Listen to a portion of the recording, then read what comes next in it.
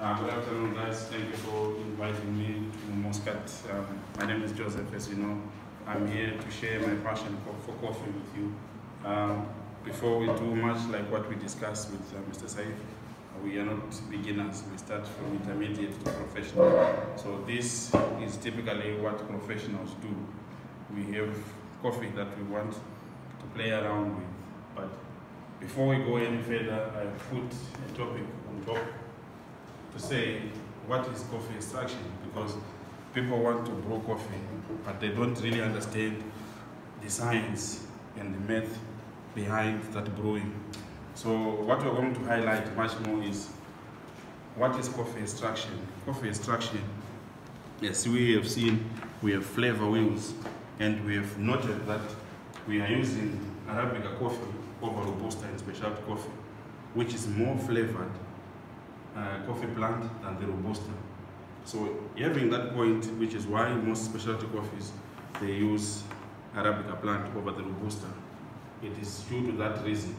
So taking into consideration, we know the plant of coffee that we want to use has more flavor. So coffee extraction on its own is actually dissolving those flavored sol solubles of ground coffee in water based on weight, time, and temperature. In the brew method you are going to make, you want to use and you want to capitalize to have more flavors extracted. We can jump in to blame the roaster, to say the roaster, this and that, or the barista can be blamed also in that way. But as professionals, we want to look at that extraction and that leads us to the roaster and um, the roasting profile where we want to play around with some of the parameters which are affected, such as aroma, body, and acidity.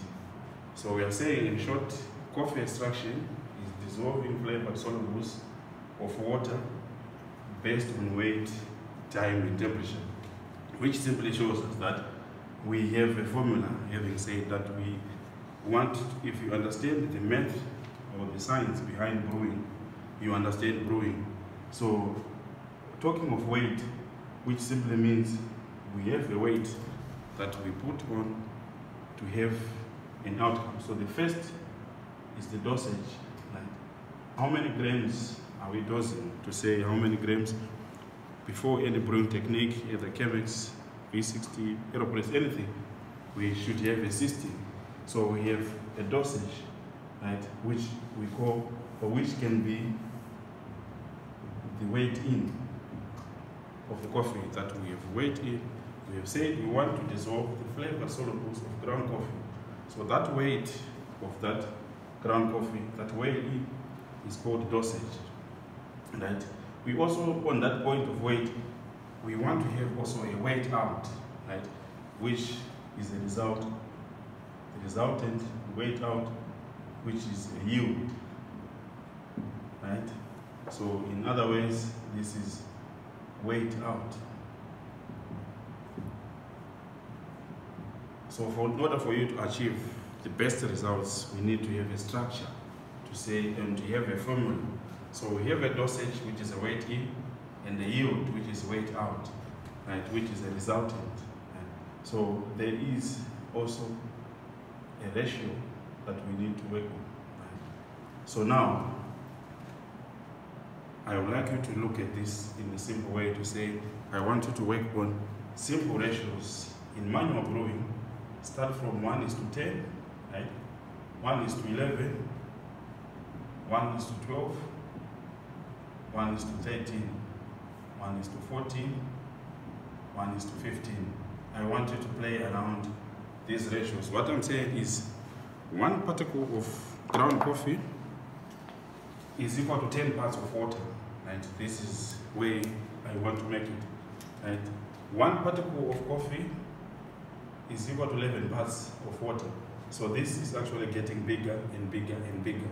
So now we have a situation where people will say, I want V60 customer language, I want it strong, right?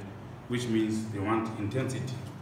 They want intensity, they want it to be more concentrated, to have right this by the number by the ratio growing bigger in size this means there is more dilution of water so best on your choice customer's choice whoever wants to have that coffee yourself a guest so based on your choice on your requirement you can play around with these figures so we're having a formula which says dosage multiplied by the ratio is equal to yield. So now if we have this formula, now we are ready to go. So each and every way or either way you want to brew, consider that, right? So we will do a small exercise to illustrate and demonstrate one method, maybe a Chemex at first, and pick up one of the ratios and pick up a dosage, for example. So let's say my dosage that I've dosed there, I've picked 18 grams as my weight E, but I feel I want that intensity, but I want more clean coffee because filter gives more clarity because all the oils, much of the oils are eliminated by the filter paper. So, but the intensity of the coffee will be determined by the ratios let's say to start with, I need my ratio of 1 is to 10, which means one particle of coffee, which is equal to 10 parts of water, which will give me my yield of 180, right? Mm-hmm. So based on this, this means that I have this amount of water in my yield, right? Let's look at the same dosage as well. 18, right? Then maybe the same gas feels it's more intense, right? It's more intense. They need a little bit more dilution. Maybe let's say I go for 13, right? 1 is to 13 ratio. So which means I'll multiply 18 by 13 to give my yield, right? 2, 3, 4. So in short, that's how we play around with all these numbers, right? But we have a situation I have some printed some papers for you. Like for example, during that exercise now, you realize your coffee is too bitter. Right, what is bitterness? We'll look into that. Maybe too acidic.